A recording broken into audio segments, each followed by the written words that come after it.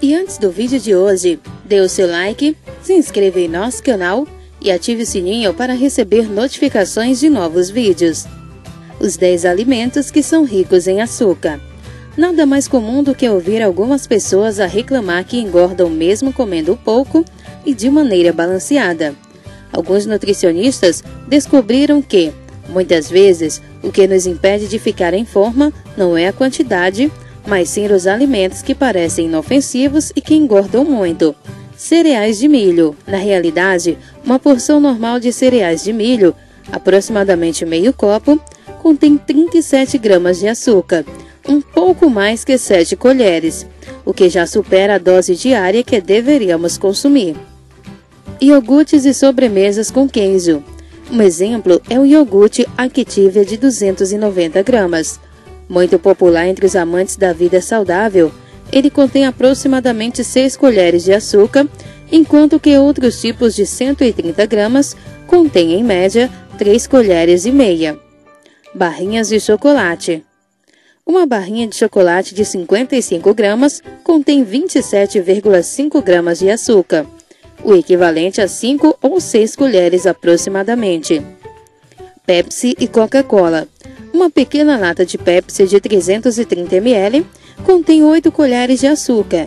Uma de Coca-Cola tem 7 colheres de açúcar.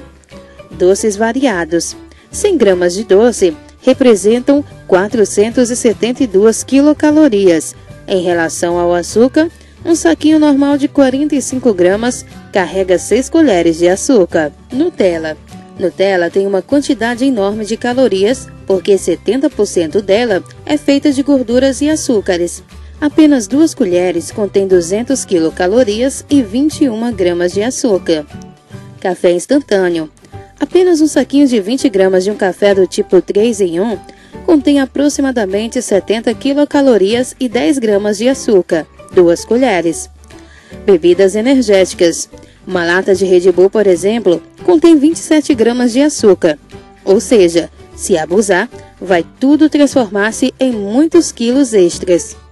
Ketchup. Apenas 100 gramas deste produto contém de 20 a 30 gramas de açúcar, uma proporção super alta. Sucos industrializados. Um sumo de uva, por exemplo, 350 gramas de sumo contém 58 gramas de açúcar. Um de maçã contém 39 gramas. Já o de cereja corresponde a 37 gramas de açúcar. E aí, você gostou das dicas? Temos muito mais. Por isso, clique neste vídeo ou neste outro para ver novas dicas e não se esqueça de se inscrever em nosso canal clicando aqui. Deixe também seu comentário com sugestões para os próximos vídeos.